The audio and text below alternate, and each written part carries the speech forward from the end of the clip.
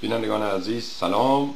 امیدوارم تا این لحظه رو به خوبی خوشی پشت سر گذاشته باشید و اوقاتی رو که امروز جمعه دوم ماه می سال 2014 میلادی و برابر با دوازدهم اردیبهشت ماه 1393 با هم هستیم.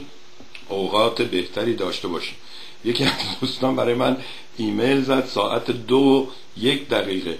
که آقا سربی کجا هستی؟ ساعت دو گذشت. ای کاش ما هممون اینجوری سر وقت بودیم و ای کاش همه شما مثل من ده سال پونزده سال اینجوری برنامه ها رو سر وقت انجام می‌دادیم و به شما تقدیم می‌کردیم تا بتونیم حتی ساعت هامون رو با شروع برنامه تنظیم کنیم. خب خیلی از خودمون تعریف نکنیم. بعضی وقتا قدیما می‌گفتن عروس تعریفی یه وقت خدای نکرده خودتون دیگه دنبالش رو می‌دونید. خب بریم درباره دوستانی که لطف می‌کنن و پیام می‌ذارن صحبت کنیم. دیروز روز کارگر بود.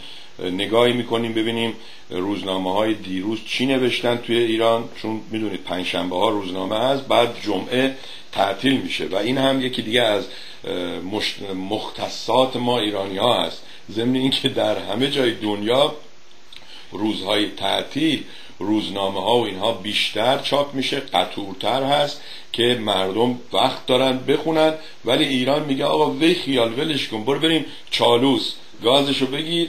حالا که میگن جاده ها بهتر شده و همه ویلا دارن بریم اونجا. نمی‌دونم خبرها ضد و نقیزه از یه بر میشنویم که همه بیکار هستند و نمی‌دونم حقوقاشون رو شیش ماه نگرفتن ده ماه نگرفتن یک سال نگرفتن. از اون بر یه دفعه می‌بینیم که هر کسی رو صحبت می‌کنی میگه آره دوستم ویلا داره فامیلم ویلا داره. این همه ویلا ما نمی‌دونیم از کجا آوردن و چجوریه. این هم از این ماجرا. من که نمی‌دونم شما اگر خبر دارید تماس بگیرید بیان صحبت کنید و به دیگران بگید. ما یه دوستی داریم آقای این ایشون چون با انگلیسی فارسی می‌نویسه من حقیقتا نمی‌دونم فامیلیشون چیه. ولی انگلیسی که میشه خوند اینجوریه. مناسیان. احتمالا ارمنی هستن. قبلا هم ما چند وقت با هم ایمیل میفرستادیم. بعد من دیدم که به قول معروف ما گشنمونه. هی میگیم گرسنمه. این میگه که آقا زردک میخوایی. و چی میگن؟ توی یک صفحه نیستیم. بعد گفتیم خب ایشون هم آزاده هر کسی راه خودش رو بده. امروز برای من نوشتن که آقای سربی اجازه بدیم من بخونم. نمی‌زنن دوستان ما هنوز شروع نکردیم زنگ می‌زنن و یه برنامه رو می‌دیدم مال یه دوستی می‌گفت که خب آقا چند دقیقه نگاه کن بعد در مورد اون چیزی که من صحبت می‌کنم صحبت کنید. اینم آزادی ما و تلفن و برنامه ها و اینها که ما رو به جایی رسوند که تصمیم گرفتیم که نه آقا خب من وقتمو می‌ذارم جونمو می‌ذارم بیام اینجا. وقتی میگم جونم اون گرونترین چیزی هست که ما داریم. و من هر جا برنامه باشه حتی نوبت دکتر اگه می‌خوام بگیرم سعی می‌کنم دوشنبه چهارشنبه جمعه نباشه و الی آخر اونایی که با من کار می‌کنن می‌دونن که ما چقدر برای همین برنامه که به نظر شما هیچ هست چقدر وقت می‌ذاریم. در صورت ولی یه عادت زشتی رو رواج دادیم در جامعه مخصوصا اونایی که تلویزیون نگاه می‌کنن. شاید خود منم مسئول باشم که به مردم گفتیم که شما حق دارید و این حق رو اینها بعضیا دارن سوء استفاده می‌کنن. مخصوصا اونایی که از این تلویزیون به اون تلویزیون به اون تلویزیون به اون تلویزیون. و وقتی که میگه من الان چند دقیقه هست رسیدم برنامه شما رو نگاه می‌کنم بعدا اگر برنامه های تلویزیون نگاه کنید ببینید این چند دقیقه قبل توی تلویزیون دیگه توی رادیوی دیگه داشته صحبت می‌کرده. حقشون هست آزاد هستن. ما هم اینجا آزاد هستیم که تلفن ها رو پاسخ بدیم یا ندیم. بگیم پیام بذارید. پیام ها رو هر وقت دوست داریم پخش کنیم. یه خانم هفته پیش برای من نوشته بود که شما نمی‌دونی که شما قانونا و عرفن مورال نمی‌تونید پیام هایی رو که مردم برای شما می‌ذارن پخش کنید. به این خانم گفتم که به نظر می‌رسه شما از قانون مدیا هیچ چیزی رو بلد نیستید مخصوصا از قانون پیامگیر و انسری ماشین و اینها. حتی تو دادگاه ما می‌تونیم از این به اصطلاح پیامهایی که می‌ذارید استفاده کنیم. ضمن اینکه اگه شما به من زنگ بزنی با من صحبت کنی توی این منطقه‌ای که من هستم ما اجازه نداریم صدای شما رو ضبط کنیم. اگرم غیر قانونی صدای شما رو ضبط کنیم اون هیچ سند و مدرکی نیست. مگر اینکه به شما بگیم که صداتون زاره ضبط میشه اون قسمتی هم که گفتیم ضبط میشه. خلاصه این خانم هم طبق معمول از همونایی بود که میان تصادفا نگاه می‌کنن دروغ هم میگن. از اول تا آخر برنامه ها رو نگاه می‌کنن تمام کلمات حتی از خود من بهتر به خاطر میسپارن. ولی همیشه میگن که ما تصادفا نگاه کردیم. اینا های تصادفی هستن. می‌دونید تو این جانکیارد و اوراقی ها یه ماشینایی هست چنان تصادف می‌کنن بهشون میگن هفت بیجار یا میرن در اینو می‌کنن می‌ذارن رو این بینا بیننده های تصادفی هستن. آقای ماناسیان از من پرسیده که در رابطه آقای سلام آقای سوربی در رابطه با گفته های شما در آخرین برنامه می‌خوام بپرسم. شما ایرانی هستید یا خارجی هستید؟ و یا چنین بپرسم. شما بیشتر احساس خارجی بودن دارید یا احساس ایرانی بودن؟ شما بیا برای من ایرانی بودن خارجی بودن اینها را توضیح بده. من یادم چند مدت پیش با یکی صحبت می‌کردم گفت هر وقت که شما خواب دیدی توی اون خوابت داشتی آلمانی صحبت می‌کردی ایتالیایی صحبت می‌کردی انگلیسی صحبت می‌کردی اون موقع شما ایرانی بودنت کم شده ایتالیایی بودنت زیاد شده آلمانی بودنت میچربه بود. آقای منسیان عزیز ماناسیان عزیز من از کره مریخ آمدم. من مریخی هستم. ولی یه چیزی رو می‌خوام از شما سوال کنم. اگه شما به قدرت تلویزیون مردم باور دارید که سوربی چون به مردم میگه آقا ول کن دیگه ایران شما که خارج هستید ایران برو نیستید اینها از این قدرت خارق استفاده کن و شما بیا بگو آقا این سوربی بی خود میگه بیاین بریم ایران آزاد کنیم. اون وقت ببینم چند نفر میاد. شما گول خودت می‌زنی. شما مجسم سازی کارها تو دیدم کارهای قشنگی انجام میدی. چند مدت پیش هم قرار بود یه حمایتی بکنی از تلویزیون مردم ولی همون نشون میده که چقدر به حرفای خودتون اهمیت میدین. حرفای خودتون براتون اهمیت نداره. دوست عزیز تلویزیون رو جدی نگیر. تلویزیون برای گذراندن وقته.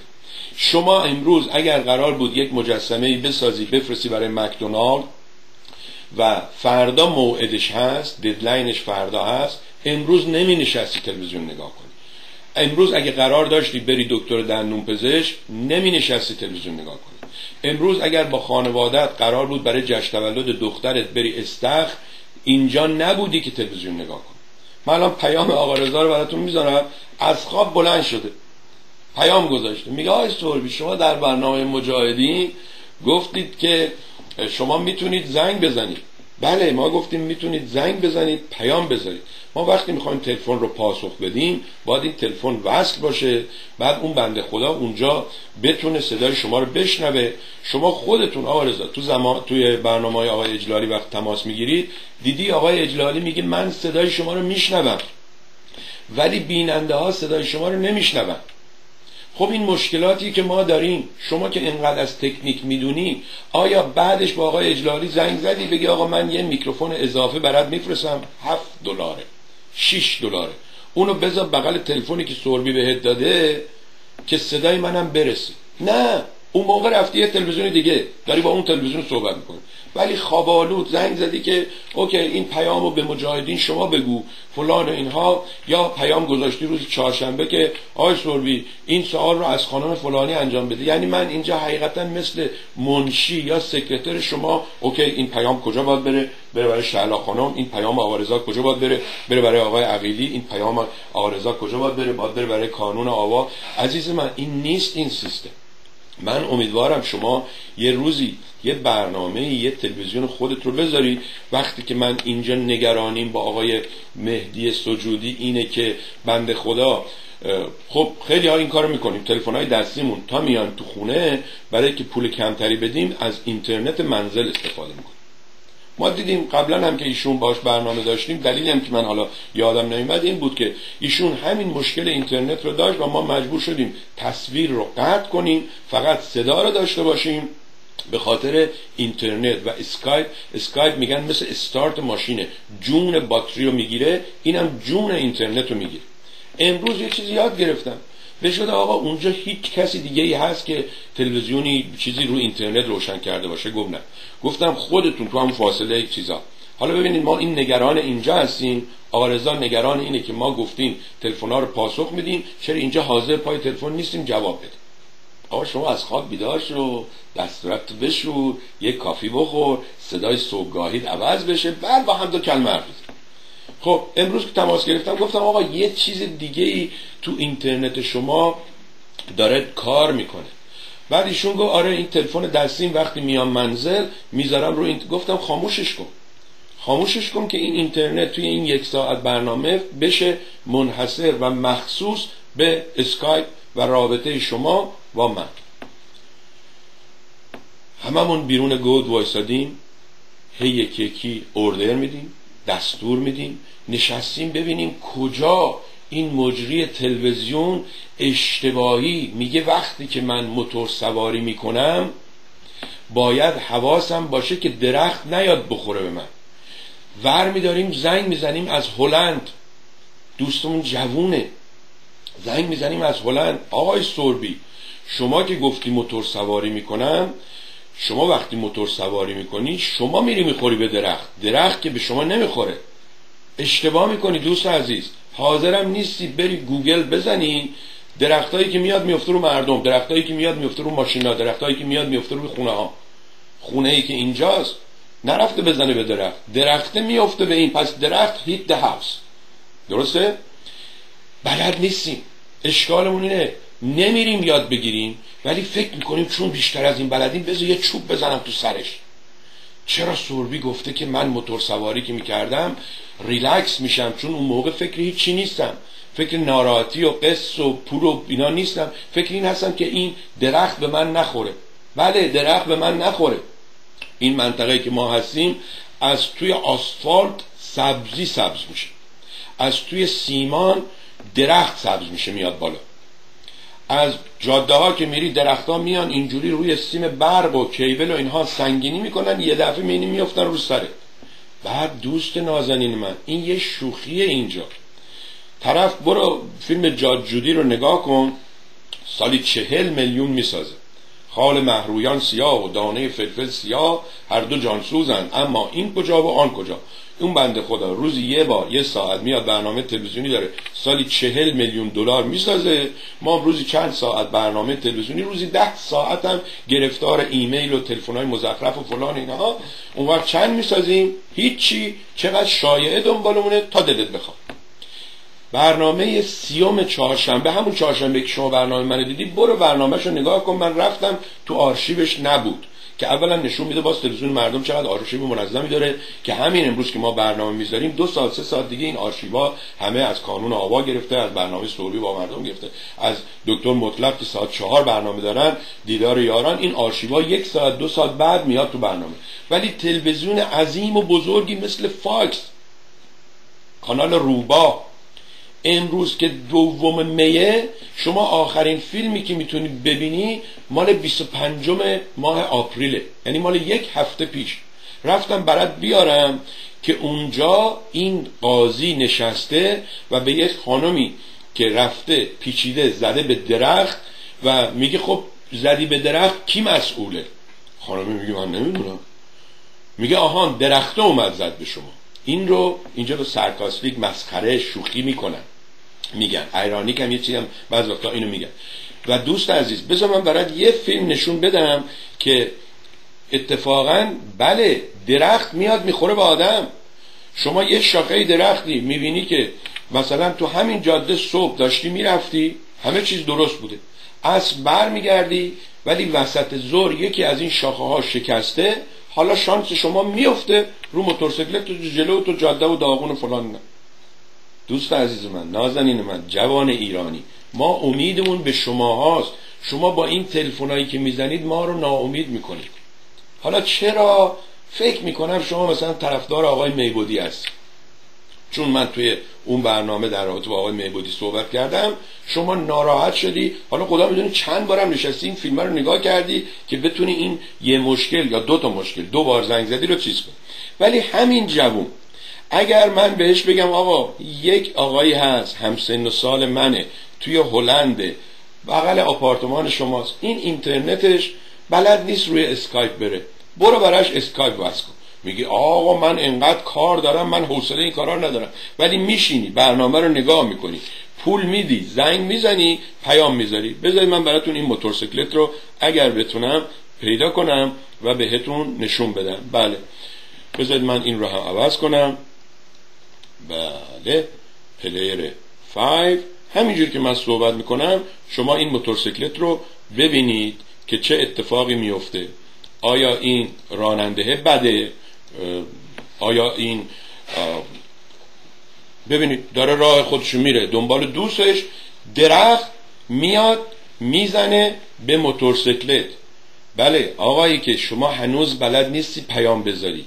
بگی من کی هستم؟ اسمم چیه؟ برنامه شما رو داشتم نگاه می‌کردم. شما یه جایی به جای دو دو تا چهار تا گفتید دو دو تا شش تا. می‌خواستم این رو تصحیح کنید. منم تو برنامه پخش می‌کنم. ببینید درخت آمد زد به موتورسیکلت. حالا من براتون یه ماجرایی رو بگم. اتفاقا خوبه. بعض وقتا شماها که میان یادمون میارید که ما اون صحبتی رو که خواستیم و شروع کردیم و یادمون رفته بگیم. من اوایلی که موتور خریدم خوشم نمیمد که جلوش اینا میگن windshield داشته باشه. Windshield wind یعنی باد shield م یعنی سپر. همین چیزایی هست اینجوری. گفتم خب اگه آدم بخواد موتور سواری کنه باید هوای آزاد باشه. من حتی باور ندارم که کسی که می‌خواد موتور سواری کنه قانون بهش بگه کلاه ایمنی بذار سرش.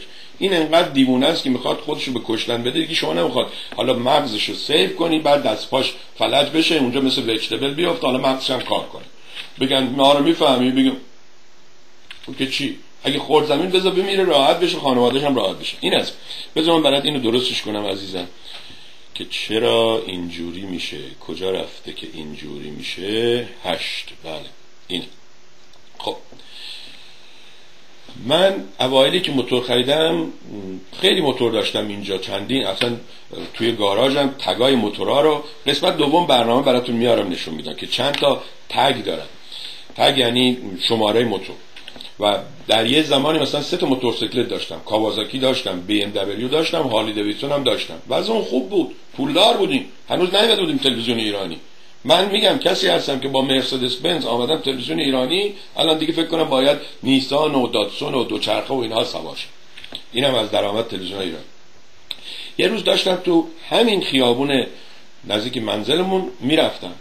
و یک خانم جوونی آمد از پشت سر من با عصبانیت رد شد که مثلا چرا یواش میری؟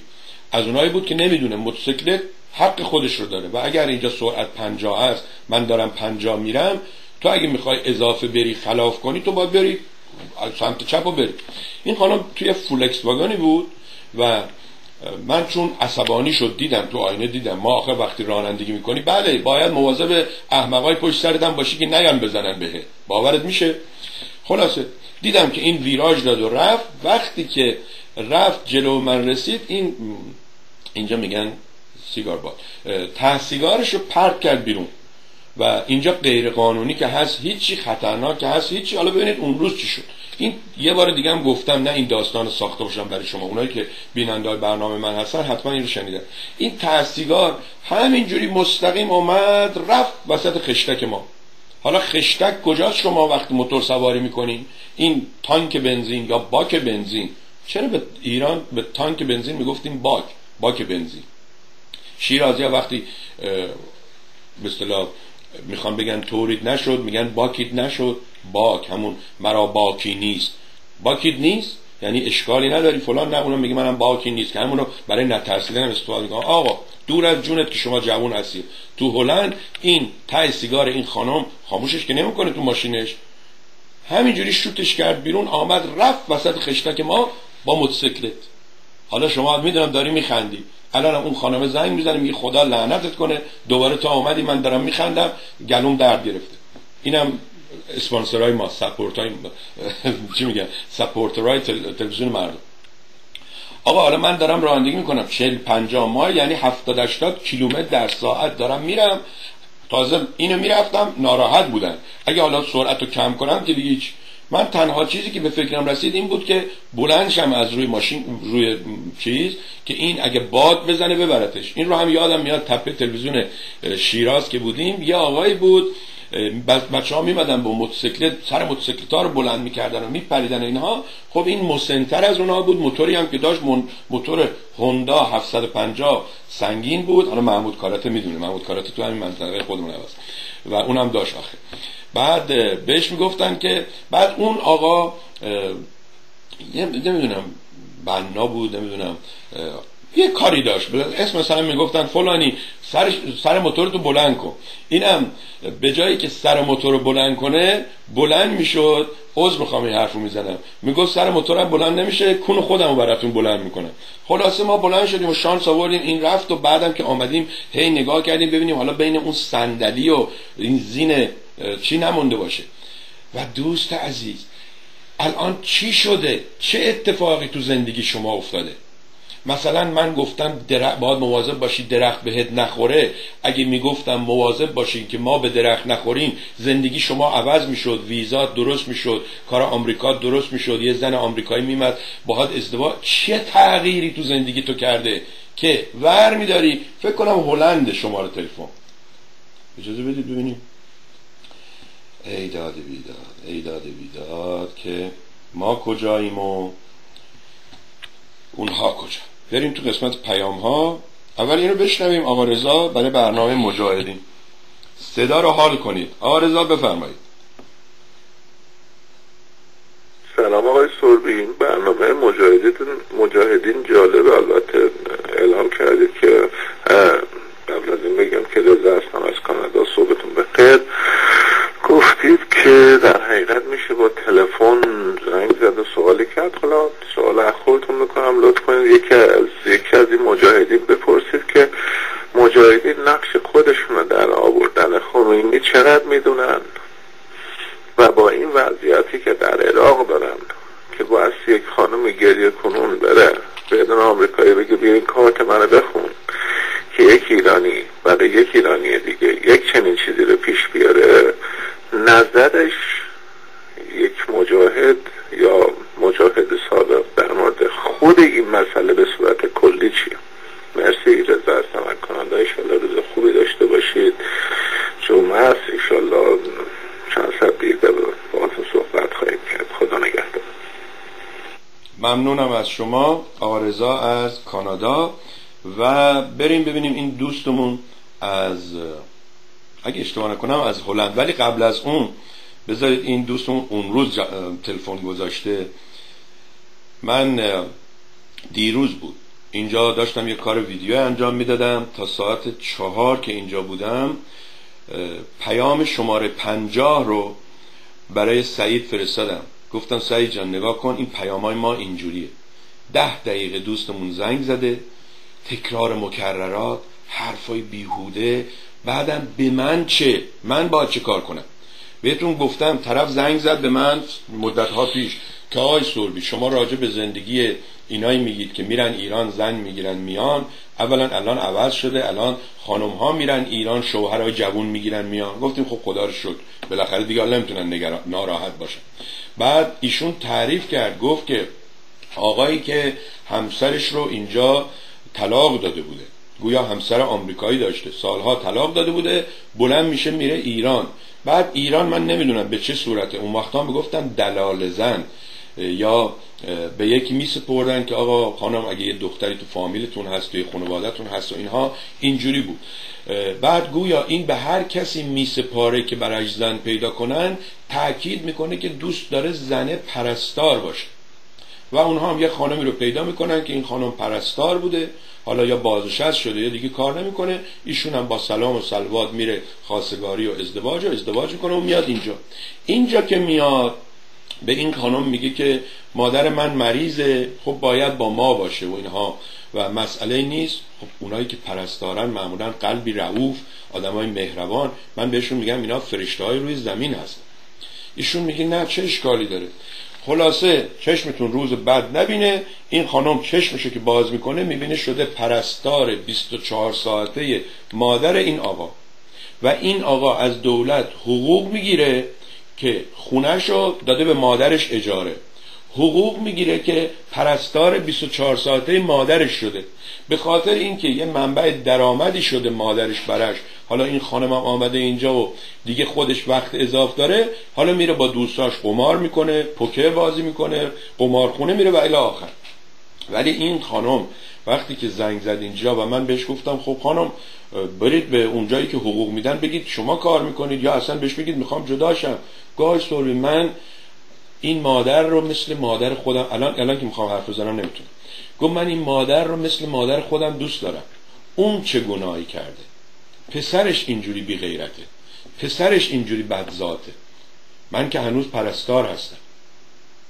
دوستان اینا هستم ناگفته نماند. یه بار یه خانمی زنگ زد گاه سربی من یکی از همونایی هستم که شما میگی زنهای وارداتی از ایران و بله شما درست میگی اختلاف سنی من با همسرم خیلی زیاده ولی همسر من میشه بگم یکی از به اصطلاح مردهای نمونه است. گفتم خب خدا رو شد شما شانس آوردی. امیدوارم این شانس رو دیگران, را دیگران هم بیارن و داشته باشن. در صورت ما که اینجا هستیم از صبح یکی زنگ می‌زنه آقا می‌خوام برم دکتر. یکی زنگ می‌زنه آقا پسرم دیوونه شده. یکی زنگ می‌زنه آقا بچه‌م قرصش نمی‌خوره. یکی زنگ می‌زنه می‌خوام طلاق بگیرم. کجا مراجعه کنم؟ یکی زنگ می‌زنه ماشینم خرابه کجا برم؟ یکی زنگ می‌زنه آقا تلویزیون تعمیر می‌کنید؟ میگم نه میگه شما نوشتید تلویزیون مردم تیوی؟ میگم بابا نوشتید مردم تیوی. تو ایران هم مینوشت تلویزیون ملی ایران. شما تلویزیون تو میبردی اونجا؟ تلویزیون تو میبردی یه جایی که نوشته تعمیرات تلویزیون. خلاص اینم زندگی ما. بشنویم پیام این دوستمون. سلام آقای سربی شما فرمودید ساعت سه ساعت چهار نگفته خداحافظ. بله ممنونم. ایشون در رابطه با دوستی که گفته بود آقا شما گفتید ساعت چهار بعد از ظهر چهارشنبه با آقای دکتر عقیلی پور خواهیم بود. ایشون میگه نه امروز شما تو برنامهاتون گفتید ساعت سه و درست گفتید. ولی من فکر کنم روز دوشنبه وقتی اعلام کردم چهارشنبه اون دوستمون درست می‌گفت. و چقدر خوشحالم. ببینید هر دوی شما درست میگید. هم اون درست گفته هم شما درست گفته. ولی هر دوی شما الان فکر می‌کنید که اون یکی داره اشتباه می‌کنه. من این رو بارها گفتم. این چیزی که من اینجا بهتون نشون میدم حالا یه چیزی هم بذاریم اینجا که هم میشه این کوپن آمده برم برم سیرک. من خودم سیرکم. من دو جا میترسم برم. یکی باغ یکی سیرک. میترسم اگه رفتم با اون حیوونا و اینها ما رو اشتباه بگیرن نگذارن بیان بیرون. ببینید شما این رو چی می‌بینید؟ یه کاغذ آبی. هی شما داد می‌زنی میگی سر به این آبیه. من هی میگم بابا این سفیده. دوتامون هم درست میگی. من از این ورش می‌بینم شما از اون ورش می‌بینید. یه کمی صبر داشته باشیم همدیگه رو قبول کنیم بشنویم بعدم ببینیم بگیم که آقا شما چرا میگی سفید؟ من از اینجا که نگاه می‌کنم اینجوریه. بعد من بگم اه شاید این دو طرف داره. شما باورتون میشه؟ یه بود دو بود سه بود سه بعدی فیلم هم آمد. درسته؟ حالا فیلم ها رو دارن چهار بعدی می‌کنن. روی گوگل نزنید تقلب نکنید. اگه گفتید فیلمایی که چهار بعدی هست اون دیگه چه کار می‌کنه؟ فیلم سه بعدی که میریم عینک می‌زنیم یک قرمز یک آبیه طرف مشت که می‌زنه. همه اینجوری می‌کنیم. اگه آب میریزن همه اون اینجوری می‌کنیم. اگه یه سنگی میاد فکر کنیم می‌خونیم سرمون. فیلم چهار بعدی چه کار می‌کنه؟ کلک نزنید اگه کلک بزنید میگم به این خانم بهتون زنگ بزنه بگه خدا لعنتتون کنه. خدا هم به حرفای ایشون هست. لعنت میشین سنگ میشین نفرین میشین. بفرمایید. روزتون بخیر جناب سربی من داشتم برنامه شما رو از داشتم نگاه می‌کردم. دیدم که خانمی زنگ زدن در مورد فامیل رضا شاه پرسیدن. رضا شاه از یک تایپه به نام تایپه پهلوان. همین الان دقت کنید. ببینید شما اگه صدای تلویزیونتون رو کم کرده بودید چقدر خوب بود. همین دوست ما که گفتم هی میگه زنگ نزنید و هی جواب میده. به طرف میگه آقا با من صحبت کن با تلفن با من صحبت کن. شما اگه با مادرت زنگ می‌زنی صحبت می‌کنی هی وای نمیسی تلویزیون رو گوش کنی که. با تلفن صحبت کن. حالا شما خودت نگاه کن خودت من ساکت میشم شما بشنوید. اون صدای پشتی آزاردهنده است. حتی باعث میشه شما خودت مکس کنی. چون بشر ذاتش اینه. دوست داره به یه چیزی که صحبت می‌کنه و اینها توجه کنی این توجه شما را از اون می‌بره. مثل موقعی بود که معلم سر کلاس درس میده شاگرد بغل شکلک در میاره اذیت می‌کنه ماش میذاشتیم تو خودکار بیک پرت می‌کردیم برای اون اینو اون. کاغذ میجویدیم با یکم توف مینداختیم برای اینو اون بخور پشت گوششون. عجب آدمایی بودی. شما گوش کنید. به نظر میاد شما نیر خانم هستید. صدای شما شعلا خانم اینها تقریبا مثل همه. نیر خانم درباره اون دوستی که گفت فامیل آقای رضا شاه چی بوده؟ شنیدم پالانی بوده. ایشون صحبت می‌کنه. ضمن این که به این نتیجه رسیدیم اصلا زمان آقای رضا شاه شناسنامه و فامیل و اینها رسم نبوده و می‌گفتن مثلا رضا که پدرش فلان بوده بعدا که خودش شغلش میشه میرپنج میگن رضا میرپنج به همین خاطر هست بعضی ها میگن این فامیلش رو عوض کرده کرده پهلوی و ماجرای فامیل پهلوی. خانم نیر خانم اینجوری که شما میگید نیست. حتی اون کسی که فامیلش رو اینها گرفتن بعدا من شنیدم بعد از انقلاب و اینها هم شکایت کردن. اشکال داریم دیگه. اشکال داریم. بفرمایید. در در محل در, در محل در آلادشت بوده که پدرش داداش بیت بوده که در سال خودگی با زن جوان به نام نوشافرین ازدواج می‌کنه و پسری به نام رضا پیدا می‌کنه. خانواده داداش بیت محترم بودن و همون پهلوانم تایفه پهلوان بودن بعد پدر رضا میمیره مادرش اونو میاره به تهران و پیش برادراش که اونها در تهران بودن اونو بزرگ کنه با بزرگ می‌کنه با سختی ولی در 16 سالگی رضا کم کم 14 سالگی دیگه می‌بینن که باید این کارشو درست کنن میفرستنش به ارتش. پدر بزرگ رضا هم باز در, در درجه سرهنگی داشته در ارتش قاجار در فتح حرات کشته شده و اینا اکثرا ارتشی بودن. خانواده رضا و, و مادرش هم که نوشاپرین بوده از گرجستان. ببینید نه خانم. خود شما که طرفدار پادشاهی هستید و خیلی از دوستان دیگه میگید که رضا شاه آمد و ارتشو تشکیل داد. ولی خودتون الان برخلاف گفته خودتون میگید که در زمان قاجار دایی رضا شاه و پدرش نمی‌دونم پدر بزرگش و جدش و برجدش سرهنگ بودن. وقتی هم ما میگیم سرهنگ یعنی کاری به اون قزاق و اینها نداریم. چون این ردبندی سرگرد سرهنگ سر اینا رو فرق می‌ذاریم.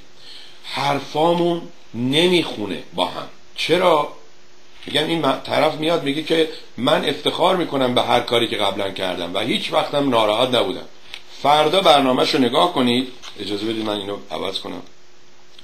فردا برنامهش عوض کنید. میگی من یکی از اونایی بودم که لاترین آدم تلویزیون بودم و برنامه ها رو اینجور می‌کردم اونجور می‌کردم. خب یعنی امروز از اون گذشتت متاسفی.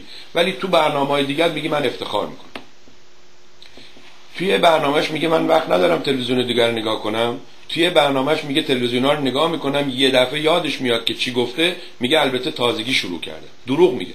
در صورتی که اگه آدم موفقی بود تلویزیون های دیگر شما باید نگاه کنید. معلمی که می‌خواد درس بده به غیر از درس تاریخ جغرافی که خودش میده باید معلم های دیگر رو نگاه کنه ببینه اونا چگونه درس میدن. یاد بگیره اینجا کلاس می‌ذارن ورکشاپ می‌ذارن. و من افتخارم این باشه که من هیچ تلویزیون دیگر رو نگاه نمی‌کنم. من هر وقت وقت کنم تلویزیون های دیگر نگاه می‌کنم به دو دلیل. اگر چیز بدی دارن یاد نگیرم و انجام ندم یا یاد بگیرم انجام ندم اگه چیز خوبی دارن اون کار انجام بدم. دوست نازنین من شما خودت تو صحبتات میگی که ایشون در سن بالا با یک خانم جوانی ازدواج کرد. پس خب اینا در خانوادهشون اینجوری بوده. چون می‌دونید وقتی شاه ازدواج می‌کنه با فرح شاه دو برابر سن فرح بوده. چهل سال 20 سال.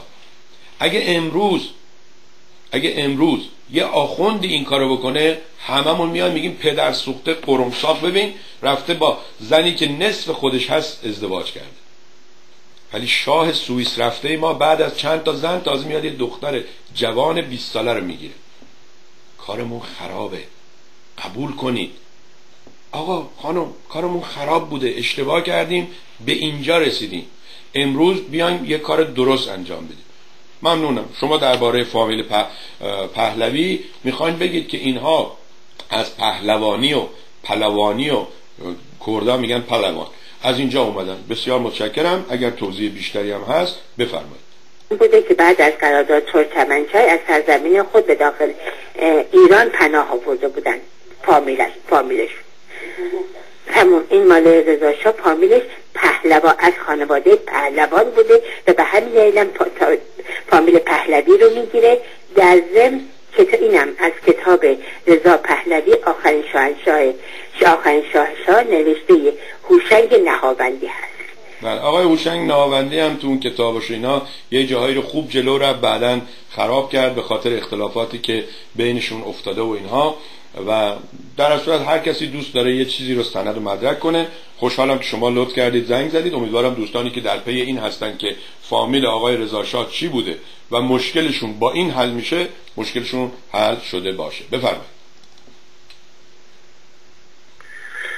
درود بر شما. راجع برنامه ای که درود بر شما. اسم شما چیه؟ کوروشی داریوشی سهرابی افراسیابی کاوه آهنگری. چی هستی عزیزم؟ بفرمایید. درود بر شما. از اول. بفرمایید.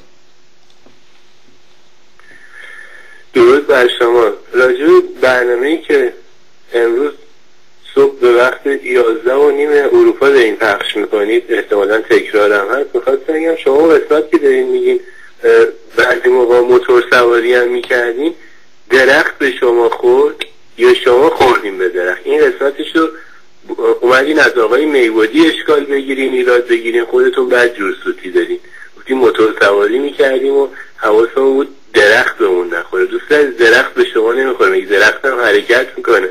متشکرم پیروز باشین. خدا نگهدار. حتما. از اینکه شما متشکرید بسیار ممنونم و ما هم پیروز خواهیم شد. ولی این احمدی نژاد آدم بسیار بدی بود. ولی به کار ما ایرانیان می‌خورد. و ما ایرانیان لیاقت چنین رئیس جمهوری رو داشتیم. می‌دونی چرا؟ اگه یه نفر مثل شما باهاش صحبت می‌کرد می‌گفت عزیزم به هم بگو کجات میسوزه تا آب بریزم همونجا. شما درباره موتور و درخت و اینا ناراحت نشدید شما ناراحت شدید که من اسم آقای میبودی رو بردم. آقا آقای میبودی من باشون تلفنی صحبت می‌کنم. ایشون یکی از کسانی که ما وقتی این استودیوی یک میلیون دلاری رو ساختیم گفت نه همون کتابخونه قدیمی قشنگتره. البته ما اون کتابخونه رو نگه داشتیم در این استودیو که به شما نشون بدیم. می‌بینید؟ این کتابخونه قدیمیم هست. شما بدون اینکه آقای میبودی بهتون اجازه داده باشه دارید نقش وکیل آقای میبودی رو بازی می‌کنید. یعنی می‌خواین به بیننده های من اول به خودتون گفتید میبودی صغیره ناتوانه. علیله بدبخته بیچاره است. نمی‌تونه حریف سربی بشه؟ گفتید من میرم جلو. شدی شعبون بیمخ. تو برداشتی آمدی جلو. یه بار دیگه برات بذارم. بعد درخت حرکت می‌کنه. درخت هر لحظه حرکت می‌کنه. هر ثانیه حرکت می‌کنه. شما میگی نه یه درختی رو امروز میکاری اینجا. ما یه درخت گلابی خریدیم کاشتیم اونجا. الان از تمام اون درختهایی که اینجا بود ماشاءالله رفته بالاتر. پس درخت حرکت می‌کنه. شما یه سوتی دادی امشب دیگه باید با پای برهنه بخوابی. یه سوتی دادی. حالا ساعت 11 نیم صبح بوده احتمالا هنوز موقع شنگول نبودی چیزی نکشیده بودی. ولی شما اونجا چی می‌کشی؟ هلند هم هستی بعضت رو به راه خب بفرمایید. دوست عزیز می‌خواستم یه مورد دیگه حتما بگید دوست عزیز چقدر خوب میشه شما اسمت رو بگی بگی من بابکم من بیبکم من اینجوریم اونجوریم. برنامه های شما رو دارم چند سال نگاه می‌کنم من مفتخورم به هیچ تلویزیونی کمک نمی‌کنم فقط ایراد می‌گیرم. بفرمایید دوست عزیز دوباره بفرمایید بفرمایید. دوست عزیز می‌خواستم یه مورد دیگه به شما یادآور بشم. دارین یه خاطری تعریف می‌کنی یا داستانی میگی؟ کسی که سه ساعت می‌خواد بره بیرون آیا لباس خواب با خودش می‌بره؟ لطفا یکم بیشتر دقت کنید قبل از اینکه اون صحبتاتون رو بخواین ارائه کنید به مردم. متشکرم. ببین نشون میده که آمریکا یا وقتی می‌خوان بگن یکی خیلی گیجه اوز می‌خوام یه حرف رو می‌زنم. به انگلیسی میگم چون انگلیسیت خوبه. میگن his head his head is stuck in his ass. حالا دیگه خودت می‌فهمی. شما نشون میده خیلی سر جاهایی که نباید باشه گیری. اینجا این صحبت هایی که می‌کنم مثلا میگه حالا ما یه, جایی می‌خوایم بریم دو ساعت پارک برداشته منقل آورده و نمی‌دونم ماشین آورده و تور والیبال آورده و اینها این رو اگزاجریت می‌کنه اغراق می‌کنه که بیشتر اثر بذاره. حالا همه اینا رو داشته باش. ما کسانی رو داریم که آقا از صبح تا شب شیش بار مسواک می‌زنه آب می‌خوره میره پشتش مسواک می‌زنه. نهار می‌خوره قبلش مسواک می‌زنه بعدش مسواک می‌زنه زبونش هم مسواک می‌زنه سقفش هم مسواک می‌زنه. بعد اون روز من داشتم توضیح می‌دادم که چقدر خوبه طرف کیفشو میندازه پشتش میره مسافره. ولی وقتی چیز زیاد داری وقتی درگیری تو زندگیت زیاد میشه همین خود شما. الان زنگ بزن من تلفن رو برمیدارم اگه اون سی و یک باشه. زنگ بزن ببینم چقدر چی داری تو هلند. چند تا لباس داری چند تا کیف داری چند تا چمدون داری. اگه دوستت بهت بگه بلند شو بریم مثلا از هلند بریم بلژیک. چند ساعت طول می‌کشه حاضر بشی؟ حالا زنگ بزن به من. بگو سوربی من بارها به خانمم میگم ما شانس آوردیم که سی سالمون بود اومدیم توی مملکت. اگه از اول آمده بودیم چقدر آشغال دور سر خودمون جمع می‌کردیم؟ البته ناگفته نمانه.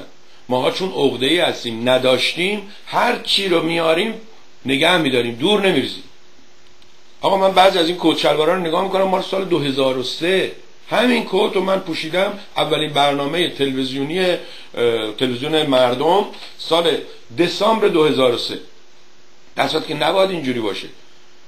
مثلا کسی که میاد تو پابلیک دیدید شما نگاه کنید چرا؟ جان استوارد هم مثل من گداست و چی نمی‌کنه. اینجا این کار انجام میدن اقراق می‌کنن که بیننده جلب بشه. بعد و شما به من بگی بیا بریم. مثلا مسافرت اول میگم کی میگی میگم نه آقا اون روز از این سازمان پول گرفتم با برم ویدیو بگیرم. اون روز تولد اونه. اون روز اینه. گرفتاریم زیاد شده. به خاطر همین گفتم حالا اگه یکی زنگ بزنه بگی آقا سه ساعت بریم اونجا می‌خوام بریم لباس خوابون ببریم اینا. بعدم شما خدا رو چه دیدی؟ ببین اهل جوک نیستی آدم باحالی نیستی. جوک میگن میگن طرف داشت می‌رفت خواستگاری پیژامش هم با خودش برد. بابا مامانش گفتن پیژامه برای چی میاری؟ گفت حالا شاید خدا خواست. بله رو گفتن ما دیگه خواستیم همونجا بمونیم. حالا شما شاید من اون سه ساعتی که می‌خواستم برم اونجا می‌خواستم بخوابم. کوتاه بیا دوست عزیز بیننده آقای میبودی آقای میبودی یکم این چیزها رو تو برنامه تعریف کن. خدا و پیر پیغمبر و متر و آقای نوری علا رو ول کنید. شما پنجاه سال زحمت کشیدید چه کردید بیننداتون اینا هستن. من یکی از دوستان گفت اینا رو بهشون محل نذار گفتم نه اتفاقا خوشحالم که این آقا نشسته باشه برنامه رو ببینه. من امروز براش این درخت رو نشون بدم که میفته. براش راجع به این بگم براش راجع به اون جوک بگم. بعد بگه آهان بابا یه تلویزیونایی هم هستن که اون چیزا فرم های قدیم رو ریختن دور و یک فرم جدید. مثلا اینکه همه باید با لحجه تهرونی صحبت کنن. این رو سربی اومده گفته آقا ولم کن من شیرازی هستم. من از شما فارسترم من از شما پارسی ترم شما باید بیان از من یاد بگیرید. که چرا به صافی شیرازی ها میگن ترش باله. تراوش پیاله است. برید فرهنگ ده خدا رو بخونید.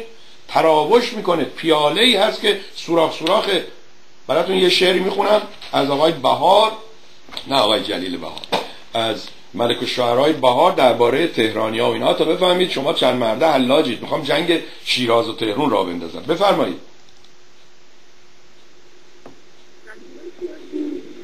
من زنگ دارم مطلب رو بگم نیستی نیازی نیست. شما زنگ بزنید به من. شما در برنامهاتون من گوش می‌کنم. میگه که قوانین امریکا در مورد رادیو تلویزیون میگه تحقیق نکنید توهین نکنید تهمت نزنید. شما از تو هلیکوپتر با ما زنگ زدی؟ دوستان وقتی به یکی زنگ می‌زنید من یه دوستی داشتم. این هوای air condition کولر ماشین دوست نداشت. خیلی آدم آزادیه. هر وقت می نشست تو ماشین شیشه ماشین می‌کشید پایین بعد با دست چپشم تلفن می‌گرفت زنگ می‌زد به اینو. خب اون بدبختی که تلفن شما رو جواب میده این باد و طوفان و اینها تو گوش شما نمیره. شما تلفن چسبوندی رو گوشت گوشت رو بستی ولی این دهنیش هوای ماشین با سرعت 60 مایل 70 مایل باد میفرسته توی ببینید بشنم این دوستمون ولی مسئله اینه که رادیو تلویزیون ایرانی در آمریکا وقتی بیننده یا شنونده زنگ می‌زنه مطلبی رو در مورد فرض کنیم مثلا پادشاهی پهلوی میگه اینا بهشون بر می‌خوره تلفن قطع می‌کنن یا یه جواب دیگه میدن. در که طرف اصلا نه توبین کرده نه تهمتی زده یه واقعیتی که بوده. برای نمونه مورد پهلوی واقعا خب این اعتقادات خرافاتی رو داشت.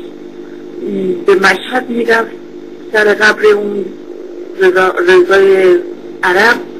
یا اینکه اونجا دست می‌کشید به اون میلای آهنی یا اینکه توی دربار خودش امام جمعه داشت.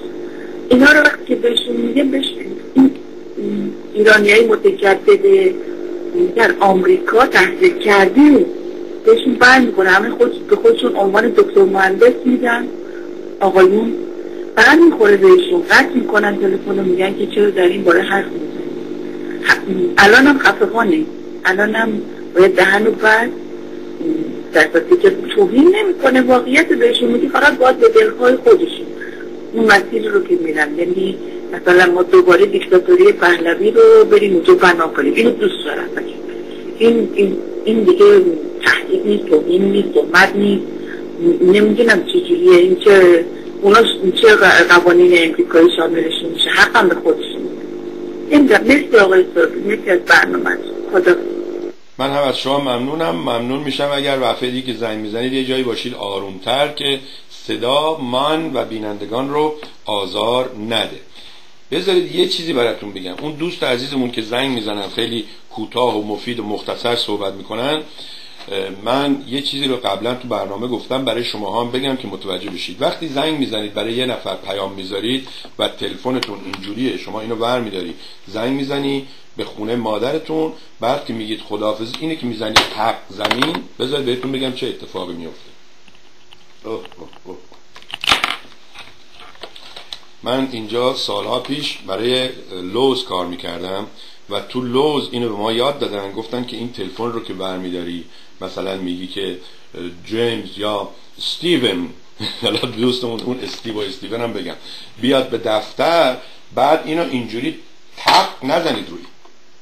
چون شما رو این که می‌زنید یا این که می‌زنید این صدایی که میره بیرون دو تا جسم سفت رو رو هم می‌زنید چی می‌کنید؟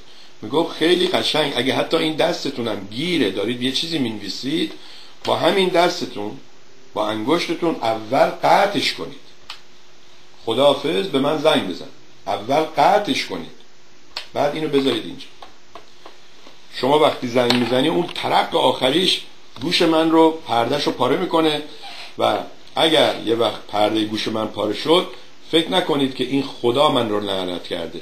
شما باعثش بودی باید یه پرده نو برای گوش من بخرید بریم سراغ آوارزا آوارزا عزیزی دلم اگر یه روزی ما بگیم آقا هر کی می‌خواد زنگ بزنه دقیقه سه دلار دو دلار یا تلفنی پنج دلار حمایت کنه واقعا این کار انجام میدی شما؟ خب شمایی که من می‌دونم وضعت خوبه آدم موفقی هستی تو جامعه این کار انجام نمیدی ما باید چه کار کنیم؟ باید از اون بیچاره ای که سوشال سکیوریتی می‌گیره ما 600 دلار از اون بخوایم حمایت کنه تلویزیون های ما رو. بشنویم آرزا سلام آقای صوبی رزا هستم و امروز در حقیقت سیوم افریل که برنامه زنده دارید. اینو پخش کنید برای دوستان. مخصوصا برای این خانم و امثال این خانم و این شاه پرستا. یک لحظه دوستان چشتون رو ببندید. این چیزی که من میگم تصور کنید. اگر رضا شاه با این خانهایی که بود فودالها می‌گفت آقا پلیس بودن منطقه خودتون شما به دست بگیرید. ارتش ایران در خدمت شاهنشاه. من شاهیمه می‌کنم. شما هر پنج سال یک نفر معرفی کنید. مردم انتخاب می‌کنن نخست وزیر و دولت تشکیل میده و بین این سران استانها این مسئله میچرخید و اسلحه آزاد بود. نه خارجی به ما می‌تونست تجاوز کنه نه داخلی. کشتار می‌شد ولی نه به اندازه که تا این لحظه شده و وقتی که مردم از نقطه اسلحه و قدرت و داشتن قدرت چون خودتون می‌دونید داشت مسلح بودن مثل همین جناب آمریکا و نمی‌دونم فرانسه و انگلیس و این حرفا و مثلا مثل روسیه و غیره و غیره قدرت میاره. و وقتی که شما از نقطه قدرت حرف می‌زنی خود به خود دموکرات میشی. یعنی میری میشینی با این نیت که به نتیجه برسی. اینو شما یه لحظه تصور کنید. اگر می‌شد آیا ایران الان گلستان می‌شد یا نمی‌شد؟ یا امروز می‌خواستید برنامه صدای آمریکا رو نگاه کنید که داشتن می‌گفتن که حالا اگر اسم خلیج فارس رو بذاریم از خلیج فارس خلیج عربی و این حرفا و نمی‌دونم تنب بزرگ و تنب کوچیک اول سلاحاشون رو فروختن به عربا. حالا می‌خوان یه جنگی را بندازن اون سلاحها همه استفاده بشه بین ایران و عربا. و این داستان رو تکرار کنن. یه چیز بچه بازیه که یه دونه بچه هم می‌فهمه. ایشالله شما که دیگه سنی ازتون گذشته بیشتر بفهمید. رضا هستم از کانادا. خیلی متشکر روز و شب خوبی داشته باشید. حاضرم با هر کدومتونم که بخواید بحث کنم روی تلویزیون. با امید خدا ایشالله آقای سوربی هم قدرشو میده. ما در خدمتشون هستیم. خدا نگهدار. خوشتون اومد؟ به این میگن بیزینسمن زیرک. همین اول قشنگ نرخ و توی دعوا با دوستان طرفدار پادشاهی نرخ رو تعیین می‌کنه. میگه سربی نه آدم از حق نباید بگذر ایشون یه دفعه برنامه گذاشتن مخارج برنامهشون رو هم دادن و من از این بابت ممنونم. امیدوارم شما هم اگر حرفی برای گفتن دارید برای حرفتون احترام قائل بشید. یه جایی دیدید دیگه الان این بنده خدا اول ماه می بود یا آخر ماه آپریل بود خیلی وحشی شده بود و به همه فریاد می‌زد. می‌گفت تو پول دادی که حالا حرف می‌زنی فلان. واسه میگم خب تو هم که شدی مثل اون تلویزیونایی که می‌گفت تا پول ندی وصلت نمی‌کنم به اتاق اصلی. یا شما کی هستی؟ شما کمک کردی؟ ماه گذشته کردیت کارت شمارش چقدر بود و اینا؟ تو که به اونا می‌گفتی بنده خودت الان به این روز افتادی چیزی که از حرف گوش نمیده. خب آقا she's listening to all of your programs. She's talking about today's program Wednesday, not Monday. I'm talking about Monday program that you said and that is right. ممنونم. من کاملا متوجه شدم. چون وقتی شما گفتی من یادم افتاد که گفتم چهارشنبه چهار بعد از ظهر و قبلا می‌گفتم 4 by 4 ماشین های 4 ویل درایو هست. شما درست میگی. من دوشنبه اشتباه کرده بودم. این دوستمون داشت راجع به چهارشنبه می‌گفت توی چهارشنبه من گفته بودم که ساعت سه بعد از ظهر. همونجوری که گفتم دوتاتون درست میگید این یادتون باشه. ایشون داد می‌زنه آبیه من داد می‌زنم سفیده یکم بیارش اینور اینور اینجوریش کنی همه می‌فهمیم. هم آبیه هم سفیده. خب مارکوس نوشته که تفاوت برنامه شما با دیگر برنامه های تلویزیون ایرانی همین است. که ما می نشینیم و می بینیم که شما خودمون رو می‌ذاری رو میز تشریح و مثل آینه نشون میدیم مرسی ممنون. Happy Friday. I hope you are doing well. I'm going to in. Okay very very very good. خب اینم از این و یه قراری داشتیم. یکی از دوستان قبلا گفت نمیام یکی هم حالا. ضرب المثلی هست یا اینجا میگن old saying یه گفته هست میگه یکی مرد و یکی مردار شد یکی هم به غضب خدا گرفتار شد. این آقای میناسیان در برنامه آقای اجلالی فرمودند باهایی ها بی خودی شکایت می‌کنند. هیچ اذیتی در ایران به باهایی ها نمی شود من می‌خواهم از ایشان بپرسم که آیا اخبار اخیر در شیراز که قبرستان بهایی ها را خراب کردند قبول دارد یا نه؟ نه آقا برای آقای ماناسیان میناسیان یا ماناسیان اینا مهم نیست. مهم اینه که سربی گفته دوستان به خودتون دروغ نگید. آقای بهمن بیگ شما که داری اینجا پول می‌گیری خوب زندگی می‌کنی به خودت دروغ نگو هی بگو جانم فدای ایران. ایران از گلستانم بشه شما بر نمیگردید ایران. مشکل آقای میناسیان اینه که می‌خواد ببینه که سربی اون روز که گفته اگر یه روزی قرار باشه که به من بگن آقا تو ایرانی هستی یا آمریکایی یکیشو می‌تونی انتخاب کنی؟ نمی‌تونی بگی من ایرانی آمریکایی هستم. من چه خواهم گفت؟ مشکلش اینه. اونجا هم داره مجسمه می‌سازه پول خوبم در میاره هر وقتم بیکار میشه میاد بریش ماها میخنده میگه با این احمق ببین. نشسته اینجا با هفت تا بیننده خودشو مسخره کرده. داریوش مسئله شیراز رو من می‌دونم که با باهایی ها هم کلاس بودم. هر کدومون با یکی دعوامون می‌شد باهایی بود. فوشایی که می‌دادیم همش راجع به دین باهایی بود صندوق بلود بود راجع به مسئله شیراز من می‌دونم که بعد از انقلاب چه کردن با منزل بهایی در اطراف سعدی. مسئله شیراز بهایار من می‌دونم که دیروز برداشتم برای اونها نوشتم که من شیرازیم من از خودم شرمنده هستم. از شما عذر می‌خوام. متاسفم. شما چه انتظاری دارید از این دوستان؟ احتمال زیاد ایشون ایران هم میره میاد تفریح هم می‌کنه اونجا که میره خوش میگذره به ما مربوط نیست. و از این که سربی گفته که آقای میناسیان آقای ماناسیان مناسیان اگر هلند که هستی اروپا که هستی بهت بگن ببین اون ممه رو لولو برد. دیگه ما خسته شدیم. شما هی میای اینجا میگی من فقیرم. social security می‌گیری میری ایران فهمیدیم اونجا میلیونری خونه داری نمی‌دونم توی فلانجا و دادی اجاره و چهار تا ماشین خریدی داری دست فامیل دارن کار می‌کنن شش تا مرغداری داری.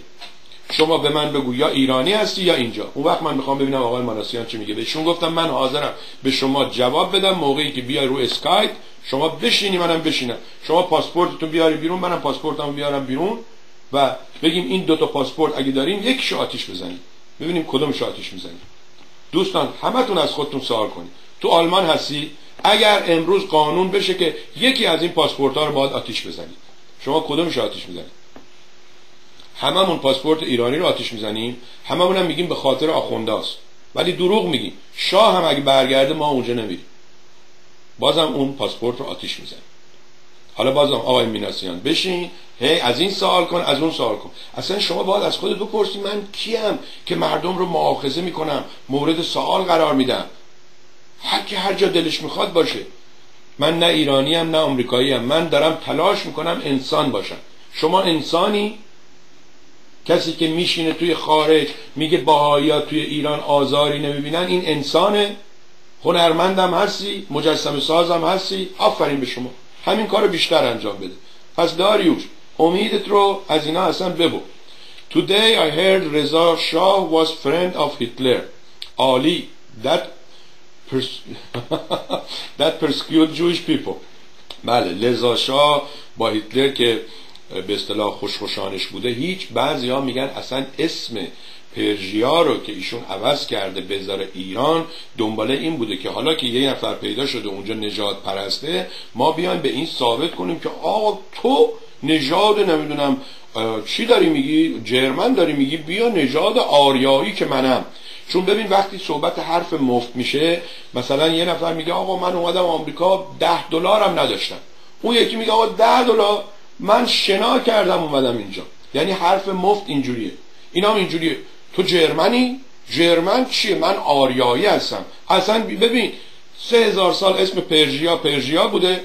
عوضش کنید بذارید ایران چون به اون کلمه آریان و فلان نمی‌خوره نمی‌دونم در اصل گفتنی ها زیاده ولی این که رضا شاه چی بوده فامیلیش کی بوده چه کار کرده امروز دردمون رو درمان نمی‌کنه. ببینیم چه باید کرد چه کار کنیم این باید بعد بیچاره تو شیراز. مرده هاشون هم در عذاب هستن. مرده هاشون هم از دست آخونده راحت نیستن. ولی من برای دوستم نوشتم ناراحت نباش. ما در فارسی یه اولد داریم یه شعری داریم یه نوشتهی داریم. اگه کسی این شعر رو کامل بلده بگه. میگه خرابی تا بدانجا کاباد میگردد. دلم از این خرابی ها بود خوش خرابی تا بدانجا کاباد میگردد. میگه اب نداره. بذارید خراب بشه. وقتی خیلی خراب شد اون وقت آباد میشه. امیدوارم اینجوری باشه. خب. این رو بزنیم بره یک دقیقه بیشتر نمونده. من ببینم که آقا چی میگه. I got your email for computer. Please check the picture and let me know. Hostage is on. ممنونم. خب ببین متشکرم. ای کاش من زودتر شما یه روزم لطف کردی. گفتی یه سری کامپیوتر و اینها داری و به اصطلاح می‌تونی برای ما این کار رو انجام بدی. از این بابت بسیار ممنونم. ما بیشتر دنبال کامپیوترهای هستیم که ویدیو کارت قوی داشته باشن. مثلا این ویدیو کارت که من دارم یک گیگابایت دو گیگابایت الان سه و چهار اومده و ما دنبال اونها هستیم. فکر نمی کنم این کامپیوترها البته بعضی وقتا وقتی اینا مال شرکت های بزرگی بوده همشون گردن کلفتن. از اینکه لطف کردی جواب ایمیل من رو دادی ممنونم. و نمیشه اینا را اونجا بفروشی پولش برای ما بفروشی ما اینجا یه چی بخریم که این خرج پست بعض وقتا خرج پست 40 دلار 50 دلار میدی یه کامپیوتری وقتی میاد اینجا می‌بینی از خود کامپیوتر گرونتر شده.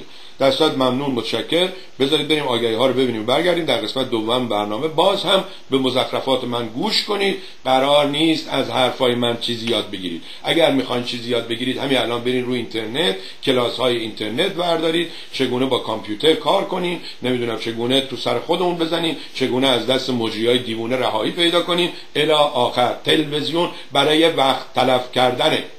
تلویزیون برای یادگیری نیست. چرا؟ اگه من بیام بگم آقا من بالاخره خسته شدم از این مزخرفات می‌خوام حالا بشینم از تلویزیون به عنوان یک وسیله برای یاد دادن یا یاد گرفتن استفاده کنم. اون روز شما قلم کاغذ میاری من بهت میگم که دوستانی که از من می‌پرسید چگونه فارسی بنویسیم بهنویس هست Persian keyboard هست این هست اون هست و اگه از ویندوز استفاده می‌کنی همه همه کامپیوترها اون زبانهای مختلف رو داره بذار این کنار اینجوری اونجوری اینجوری و هم فارسی بنویس هم انگلیسی بنویس. اون موقع شما از کامپیوتر یه چیزی از تلویزیون یه چیزی یاد می‌گیری تا اون موقع آقای میناسیان تا اون موقع دوست عزیز شما به خاطر اینکه هیچ دوستی نمیاد در مغازت بهت باهات صحبت کنه میای تلویزیون نگاه می‌کنی ببینم این یکی احمق سربی چی میگه اون یکی احمق چی میگه و حماقت ما رو هی با هم مقایسه می‌کنیم ولی من بارها گفتم اصلا احتیاج به مقایسه نیست. ما از حد احمق بودن بیشتری ما دیوونه هستیم. اگه دیوونه نبودیم سر بیدرد خودمون رو به درد نمی آوردیم نمی بشینیم اینجا که هر ناکسی بخواد به خودش اجازه بده از ما سوال کنه. به سر نشسته اونجا نمی‌دونم بنگ کشیده چی کشیده؟ آقا شما گفتی درخت می‌خوره به ما. مامان داغتو نبینه. اگه شما جوونا امید ما به شماست عذر می‌خوام. شماها همتون مثل دست نمازید که به یک گوز باطل شدید. بریم آگهی ها رو ببینیم برگردیم.